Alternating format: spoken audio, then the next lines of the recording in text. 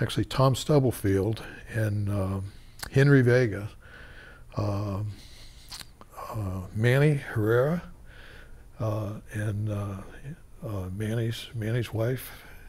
They were they really wanted to have more insight from the community and let the community feel like they could talk to us. So we uh, we came up with uh, the idea of the uh, community outreach. And out of all these people, I can't tell you which one had the first time to say it, but they all wanted to be involved. So we, uh, the community group itself, the UCAB, decided that one good place to go to begin with was the uh, elementary schools in, in southern Tucson. So uh, Tom and I went out and uh, touched bases with the uh, superintendent of schools and the uh, principals of the most local elementary schools. Elvira School was one of them, and I can't remember the others. Uh, and we we were asking uh, if the, if we could find a way to have the teachers talk to the children or have us come and talk with the children a little bit about cleanups. And the Air Force uh, and the uh, Hughes Aircraft Company at that time were involved in the community uh, for what they called the, uh, what was it, the environmental Earth Day. It's called Earth Day already.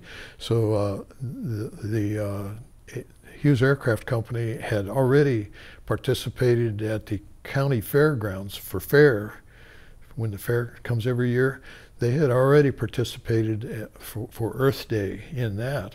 And, uh, and, talking to the people I worked with at the company uh, and talking to the community, we wanted a good way to work with things.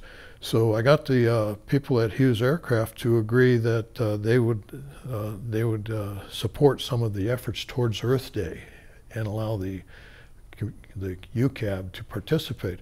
So to make it a little shorter, we were able to convince a couple of the principals to talk to some of their teachers. We had some teachers volunteer to sign up to begin to teach their children something and to do a project. And uh, so at the old Pueblo Center, we worked for quite a while in preparation for the, uh, the uh, county fair coming up in months ahead. Uh, but we got the children to participate and make a, a project, a science fair project towards Earth Day. And uh, then we set up a uh, sort of a carnival at the Old Pueblo Center. And because the, uh, uh, the Air National Guard was part of the groups that we were working with, I'd contacted the commander from the Air National Guard and he volunteered his troops to bring out.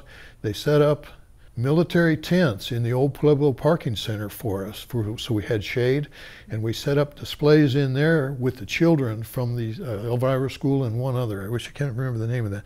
Anyhow, they came and set up displays, and we set up a little group to vote on the, the kids there. And uh, in, during all this other stuff going on, I had contacted the EPA and Hughes Aircraft uh, in, uh, in the city I contacted all of them and asked them, you know, we're, we're asking these children to participate. They need to have an award if they, if they get a ribbon. So what we did is we set it up so that we could get uh, tickets to the county fair for the ones that had ribbons out of the display at the old Pueblo Center. And uh, so it was kind of funny because if uh, one or two of the people would say, yeah, we can give a ticket to this one child. And I said, no, if this one child comes, you have to supply enough tickets to the fair for the whole family and to be able to ride some rides while they're there and have a few things.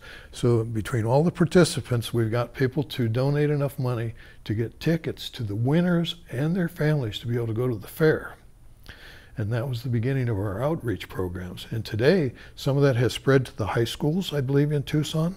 And uh, uh, so they continue some of this work around Tucson towards the idea of understanding the problems with contaminations in your town and, and ways to excite people and incite people to continue to work towards having a better community for themselves.